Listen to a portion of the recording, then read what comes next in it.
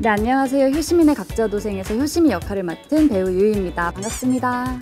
현대판 심청이.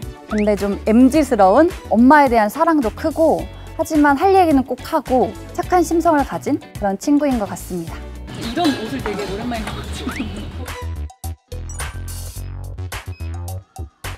너무 부끄러워요. 스포티하고 열정적이고 밝은 컨셉으로 포스터를 촬영할 것 같아요. 그런 모습에 효시미의 밝은 이미지가 보이지 않을까?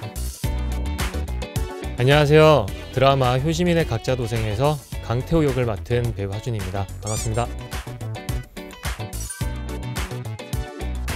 남들이 보기에는 모든 걸 다 가진 듯한 아이인데 사실은 모든 걸 다 잃어버린 정말 고독하고 외로운 친구인 것 같고요. 단체 포스터는 이제 저희 드라마 제목이 각자 도생이지 않습니까? 그래서 각자 본인만의 자신만의 레이스를 한다는 느낌으로 각자 이제 달려가는 느낌의 컨셉을 찍었고요. 하나,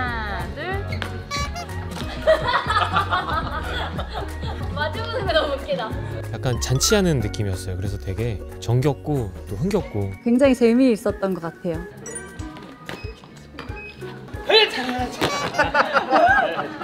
멋있다. 어, 멋있다.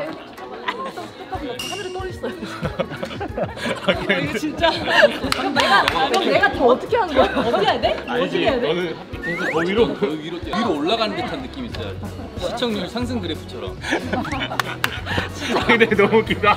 아니 근데 진짜로 아 이것은 우리의 그러니까 시청률인가요? 태호가 30, 이제 효심이가 40 딱. 아, 그렇지.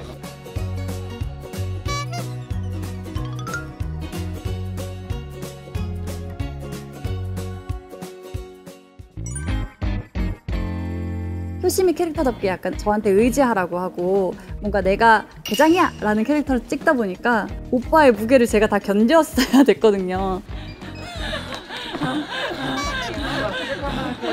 근데 운동을 많이 한다고 생각했는데 그게 또 다른 느낌이더라고요. 그래서 오빠가 굉장히 좀 고생을 한 제가 아무래도 신체적으로 좀 체중이 나가다 보니까 어, 효심 씨가 좀 힘들었을 거예요. 그래서 근데 웃으면서 또 밝게 해가지고 또 역시나 아 프로다 멋있다 이렇게 또 감명을 받았던 것 같습니다. 체력 꺾.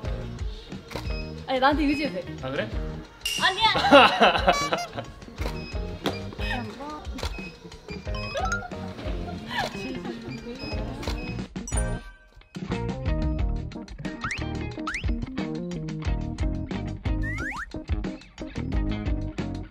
이건 거의 오빠 하나 괴롭혀요. 보기에는 네가 괴롭힌 것처럼 보이지만 아니요.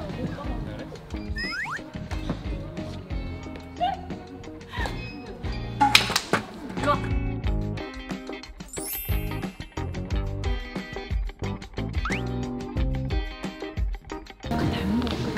너랑 나랑 훨씬 예쁘지. 그것만. 본심처럼 그것만. 그건 많지.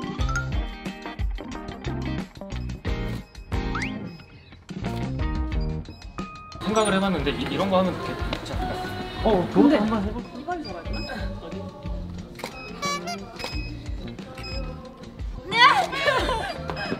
내 허리. 좋은 완.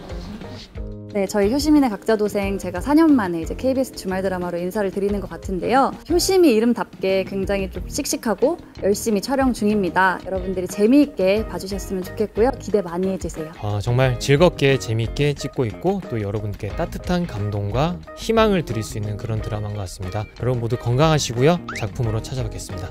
감사합니다. 감사합니다.